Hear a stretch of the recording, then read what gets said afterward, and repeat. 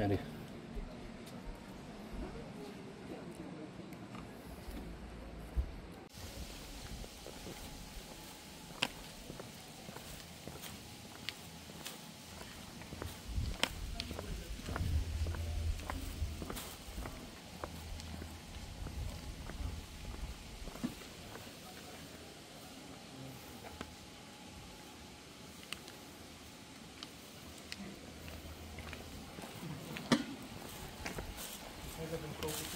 Focusing now for a year and a half. Okay, okay. I haven't, I haven't bothered.